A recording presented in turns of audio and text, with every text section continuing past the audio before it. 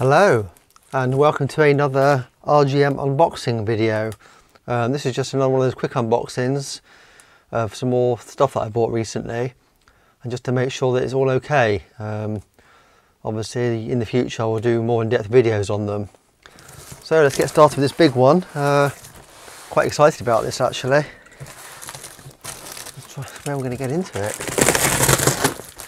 Uh, in here we have a Cub MicroVitec monitor.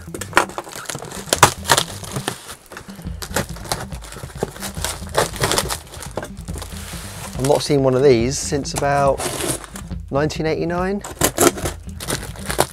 which was at school, it was in my English class.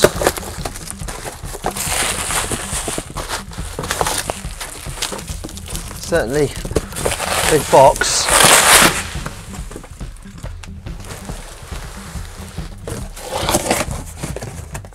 Hope it's okay. Oh dear, I can see some damage at the back there. Looks like it's uh, taken a fall in transit. Cabinet's warped.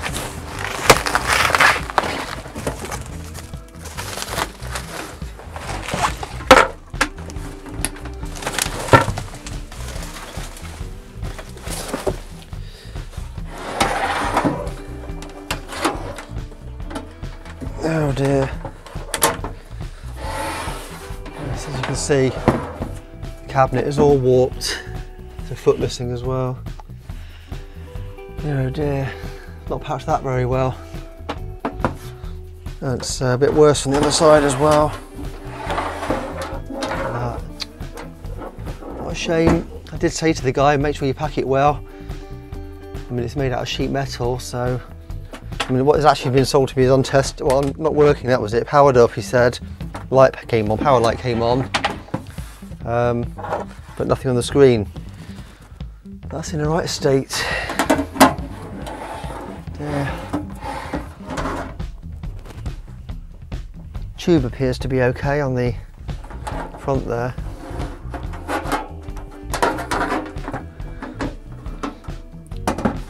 So it's a model number 1431 MS, last pat test, 2000. So it was use up to 2000 at least. Your um, input there, contrast, power button. Well, I won't be plugging that in until I've opened it up, just to make sure it's safe in there. Let's hope the others are in a bit better condition. Right. Uh, a little one next.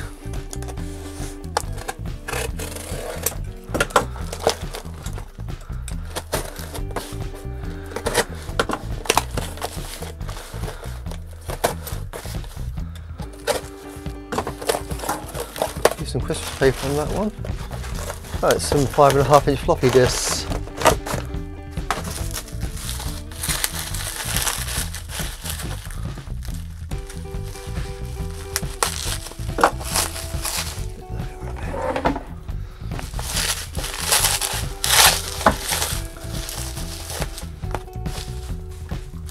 Says education on there. Crystal Fortress, Vision Striker, Shift Break Run. So what uses that command? Is that DOS? Or is it basic? Caveman Quest. I'm hoping these will be BBC Micro discs.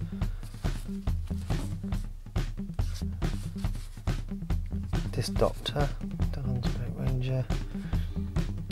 Obviously, uh, the stuff that says on here is probably long gone, it's probably not even on there anymore. I don't know if I can't remember if he wiped them or not before they sent them.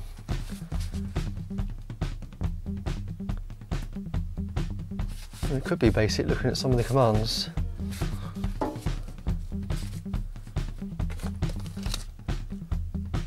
Hmm, Let's have a look at those.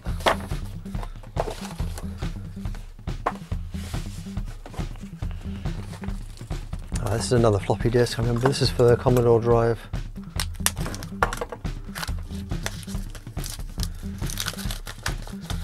Diagnostic disk if I remember rightly. Hmm, fit it well. There we go. Yeah, Commodore 1541 demo disk drive. Demo disk, single sided, five and a half inch.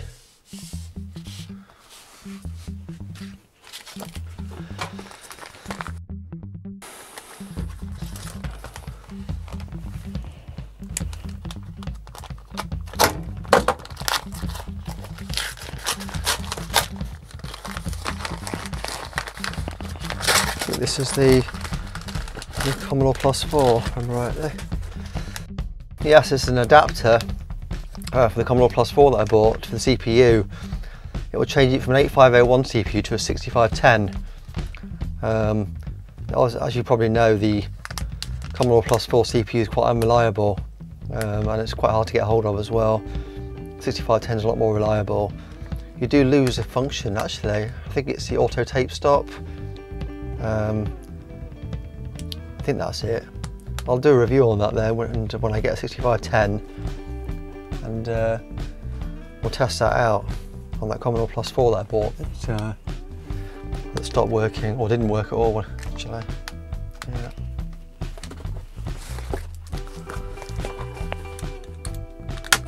To the next one.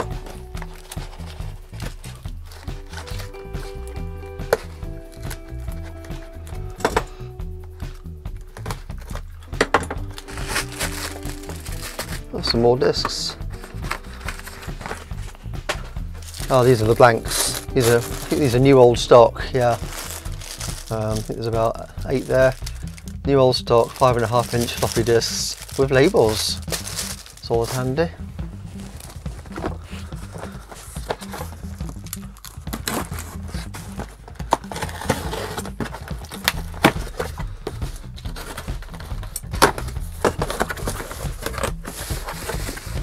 Oh, that came quick.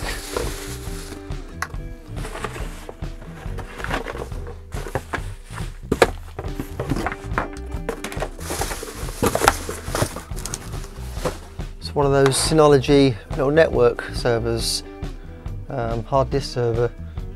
I just love the design of this. Um, it's very retro looking to me. So USB on the front there, SATA on the back there, got two USBs, LAN, DC 12 volts. I think if I remember rightly, said it's a 250 gig hard drive in that. That's got to be the shortest uh, kettle lead I've ever seen. He did mention to me about that. It's always gotten damage in the post anyway, look. I'm not having much luck today, am I? And that'll be the power supply for it. Yeah, it's the right power supply at least.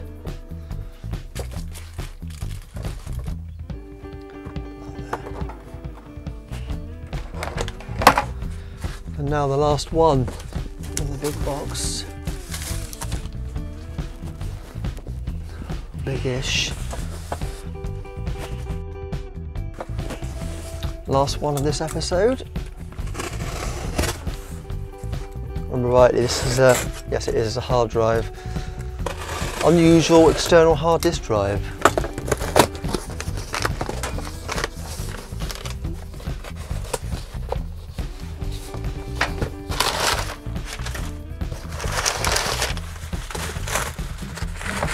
They've packed it really well. Oh, it's smaller than I thought it was going to be actually.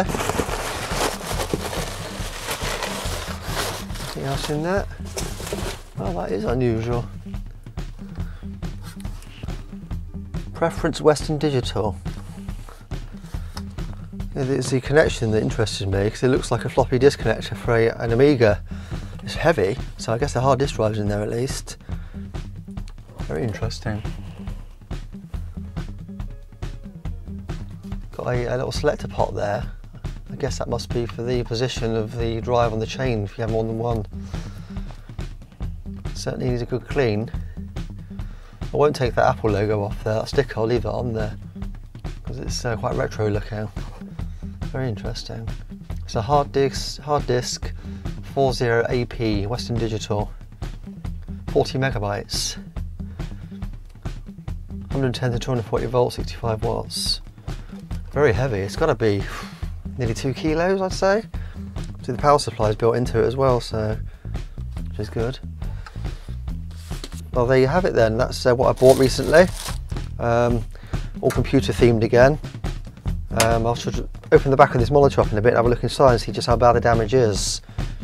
I'll do a separate video on that. Um, well I hope you uh, liked watching. If you did please consider liking and subscribing and I'll be seeing you